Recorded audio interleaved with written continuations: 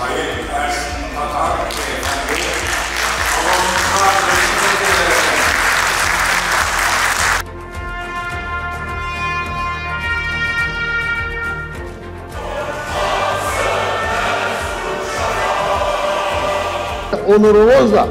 başınız dik yaşayacaksanız mutlak surette egemenliğinize ve devletinize önem vereceksiniz.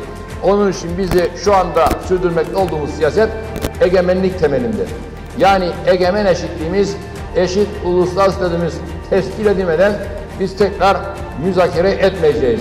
Gelecek bizimdir diyorum. Çünkü Doğu Akdeniz'in stratejik ve jeopolitik durumuna baktığımızda mavi vatanın ne anlama geldiğine baktığımızda enerji zenginlikleriyle oradaki güvenlik boyutuyla her türlüsüyle ve mavi vatanın üstündeki hava sahasına baktığımızda bütün bunlar ulusal egemenliğin Türkiye Cumhuriyeti ile Kuzey Kıbrıs Türk Cumhuriyeti bir bütün el ele verdiğinde ne kadar önemli ve mühim olduğunu buradan sizlerle paylaşıyorum. 1950'lerde, 60'larda, 60'larda, 64'lerde, 67'lerde, 74'lerde Kıbrıs Türk'ü beraber olan siz değerli gazilerimizi, siz değerli komutanlarımızı harbiyeyle selamlıyorum. Sizlere hürmet duygularımı iletmek istiyorum.